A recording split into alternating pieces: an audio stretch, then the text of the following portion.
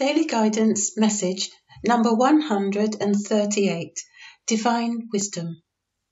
Everything that's truly yours will come to you in the end. Whatever is for your highest good will surely find you. Think of all the things that have somehow passed you by in the past, and remember how you later looked back on many of them with relief and greater wisdom, only to see the divine plan in action. Sigh with relief when something passes you by. Something much better is on the way.